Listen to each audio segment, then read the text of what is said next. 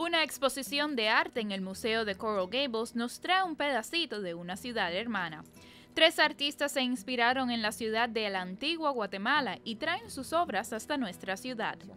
La verdad es una oportunidad muy grande para mí el venir acá a Coral Gables a traer todo este tipo de, obras que, yo hago y pues la verdad me siento muy satisfecho. La exposición lleva como nombre Arte Nuevo Ciudad Antigua, arte contemporáneo de la ciudad hermana La Antigua y estará abierta desde el 7 de septiembre hasta el 28 de octubre.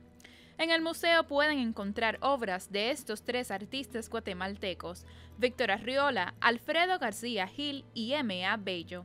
La antigua Guatemala es conocida por las montañas que la rodean, su herencia española y el estilo de su arquitectura, algo que la asemeja mucho a nuestra ciudad. Eh, Coral Gables es una ciudad colonial también que tiene mucho pasado similar al nuestro y pues en esta ocasión eh, me siento muy contento de haber sido invitado a participar acá para representar Antigua Guatemala, que es una de nuestras terceras ciudades allá en Guatemala y pues que tiene cierta similitud colonial también. Las pinturas de Arriola captan los paisajes, colores y la arquitectura que identifican a la antigua. Las pinturas de García Gil reflejan la dinámica social que viven los guatemaltecos diariamente con un toque de humor, mientras que las fotografías de Bello captan los diferentes colores en las capas de pinturas de las fachadas de casas y edificios por toda la ciudad guatemalteca.